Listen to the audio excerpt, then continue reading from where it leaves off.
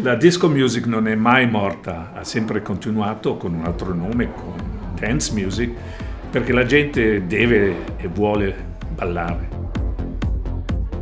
Sono stato fortunato, ho lavorato sempre con degli artisti molto bravi. Blondie, David Bowie, certamente Donna Summer con cui ho fatto almeno 6-7 album. Mai pensato di fare il DJ, poi per caso mi hanno invitato a New York a una discoteca, è stato un successo.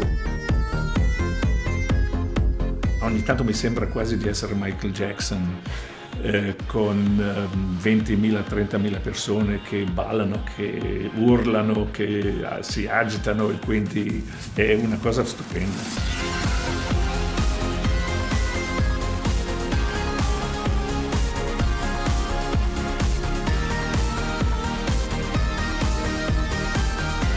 Io sono nato per far ballare la gente.